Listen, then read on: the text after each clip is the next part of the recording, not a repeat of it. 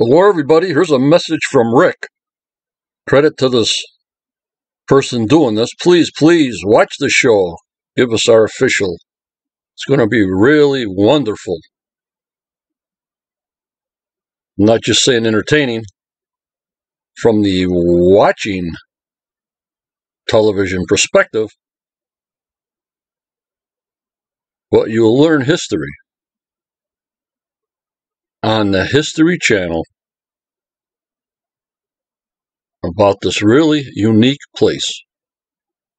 A world class mystery as yet unsolved, and a world class treasure hunt. In fact, the world's longest running treasure hunt. So stay tuned, please. Take care. We'll see you tomorrow night. Quest of Oak Island. Bye bye.